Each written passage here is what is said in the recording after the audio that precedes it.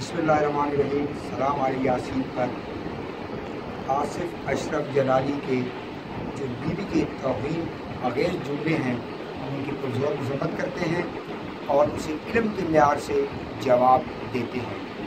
उसने अपनी तकरीर में जुमला इस्तेमाल किया था कि हज़रत अली, हज़रत फ़ातिमा, हज़रत इमाम हसन हुसैन गैर मासूमा हैं आय के के मफहूम में। तो मैं उसे जवाब देता हूँ कि हज़रत आदम सलाम हज़रत यूसुफ़ हज़रत सलेमान, हज़रत दाऊद सलाम हज़रत ज़करिया, हज़रत यूनिस सलाम से जो तरक ओला हुआ तो उस पर आप क्या कहेंगे? आल मोहम्मद मासूम हैं और इनसे ज़रा बराबर भी तरक ओला नहीं हुआ।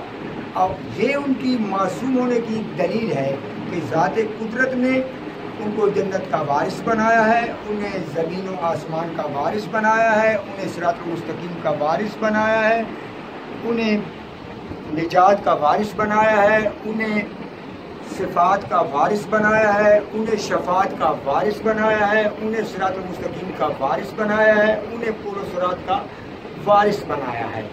दूसरी बात कि माजल्ला उसने कहा कि बीबी खता पे थी तो जिस पर अल्लाह राज़ी हो, अल्लाह का रसूल राज़ी हो तो ये मनसब तो उसी को मिलेगी ना।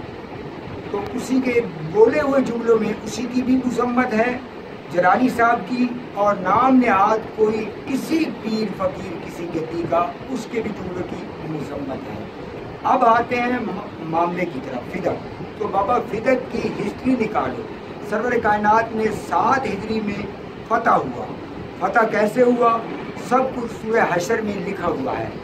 सरकार मौलवी ने से फतह किया और उसमें से जो माल आया, ज़ात कुदरत ने कहा, ये मेरा हिस्सा है, मेरे बाद मेरे नबी का हिस्सा है और मेरे नबी के खराबदारों का हिस्सा है। उसके बाद यतीम, गरीब मस्किनों का है। बाग फितर बीबी को मिला होम्स के सूरत में होम्स बनाकर होम्स बना के सदक़े की आयात सूरत तोबा में है होम्स की आयात सूरत अनफाल की आयत नंबर इकतालीस में है।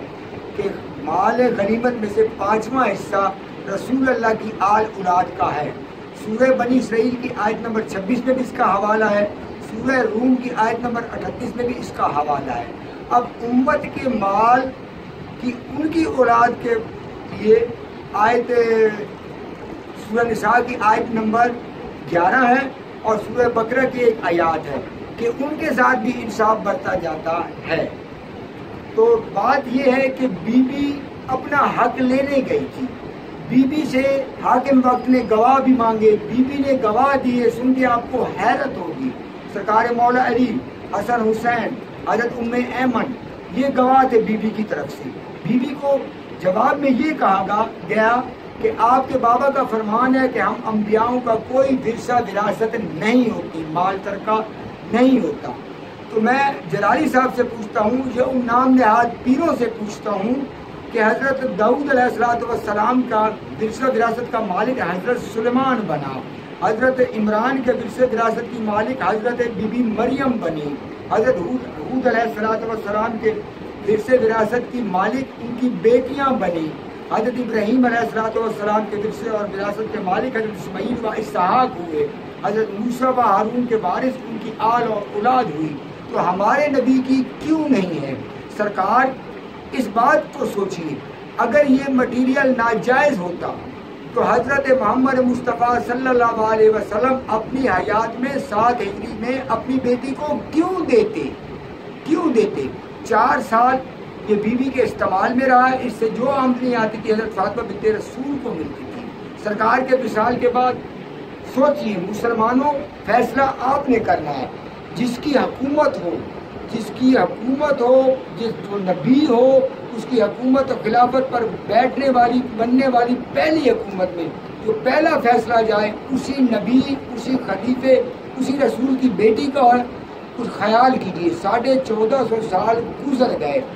हर दौर में मोहम्मद वाले मोहम्मद की गुस्ताखी की गई। हर दौर में मोहम्मद वाले मोहम्मद के हक को मिसमार किया गया और छुपाया गया। हर दौर में उनको तकलीफ़ें दी गई। हतुल मिसाल उनको शहीद कर दिया। खुदा गवाह है कि कोई गैर मुस्लिम उनका मुजरिम नहीं है, सिवाय मुसलमानों के, जिस किसी दौर के भी हों। तो तमाम मुस्लिम उम्मत से ये अपील है कि ऐसे आलमों से की मजम्मत करें और एहतजाज करें।